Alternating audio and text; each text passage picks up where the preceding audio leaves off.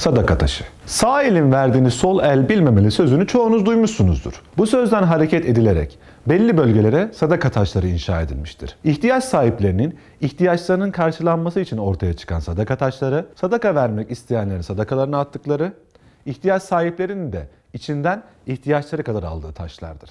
Böylece gösteriş yapmadan yardımda bulunmak isteyenler rahatlıkla sadaka verebilmekte, ihtiyaç sahipleri de kimseye el açmadan ihtiyaçlarını karşılayabilmektedir.